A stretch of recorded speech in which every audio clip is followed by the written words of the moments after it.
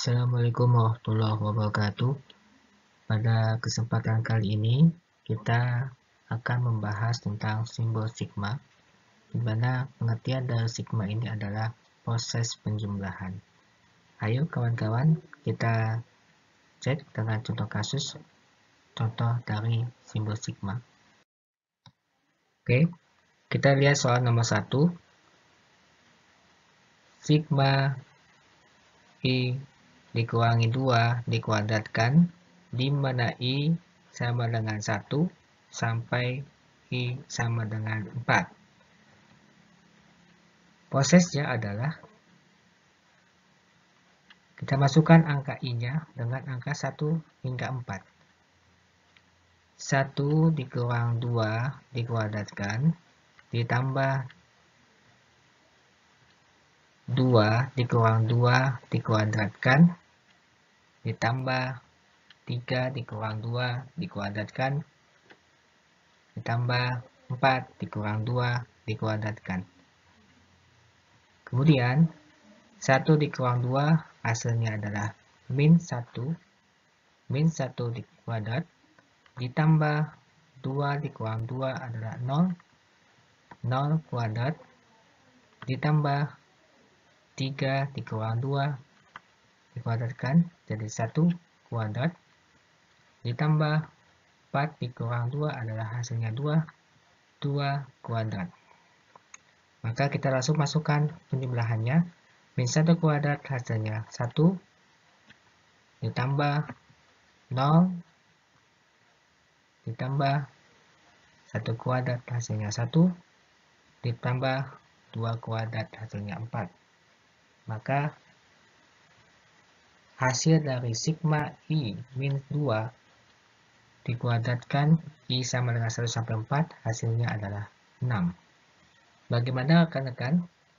Sampai di sini paham tentang penjumlahan sigma?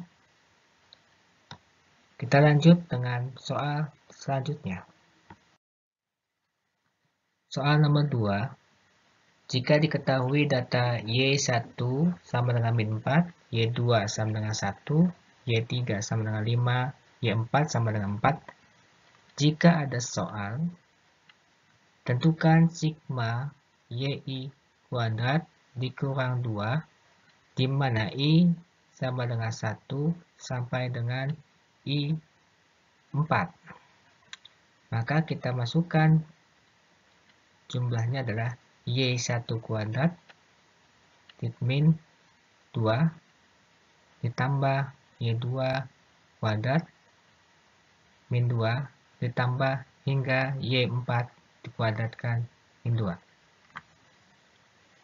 Hasilnya Y min 1 adalah Y1 adalah min 4 min 4 kuadrat dikurang 2 ditambah Y2 1. 1 kuadrat min 2 ditambah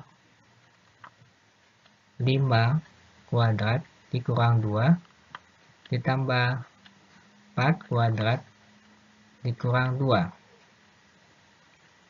Di sini min 4 dikuadratkan hasilnya 16. 16 min 2 ditambah 1 min 2 ditambah 25 min 2 ditambah 16 min 2 maka diperoleh 14 ditambah minus 1 ditambah 23 ditambah 14 maka bisa kita peroleh sigma yi kuadrat min 2 di mana i-nya sama dengan 1 sampai i sama dengan 4 diperoleh angka 49. Nah, sampai di sini rekan-rekan proses penjumlahan sigma pada kesempatan kali ini. Kita ketemu lagi dalam materi yang lain. Terima kasih. Wassalamualaikum warahmatullahi wabarakatuh